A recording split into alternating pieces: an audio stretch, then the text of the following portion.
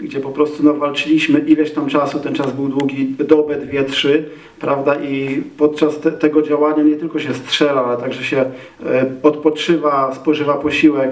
i tak dalej, także e, chyba moim zdaniem naj, najgorszymi momentami były te, kiedy była ta chwila spokoju i tak naprawdę nie wiedzieliśmy, e, kiedy to wszystko się skończy, nie? bo wiadomo, że w działaniu, kiedy się strzelało, no to adrenalina oddziaływuje na nas i jesteśmy po prostu sprężeni, działamy, a w momencie tego rozprężenia, no to najgorsza jest ta myśl, y, czy to się w końcu skończy, czy nie, prawda?